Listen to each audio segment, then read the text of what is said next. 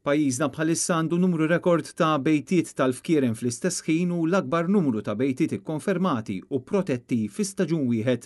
Dan wara li fit-Tlieta ta' filgħodu ġiet ikkonfermata s-seba' bejta ta' fekruna għal dan l-istaġun fir-Ramla tal-Mixquqa.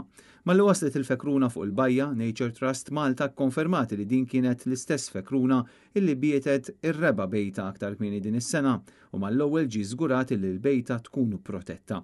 Fi stqarrija l-ERA fakkret illi l-istorbju u d-dawl jistgħu jbeżżgħu lill-fkieren u kull attività ta' fkieren għandha tiġi rappurtata immedjatament.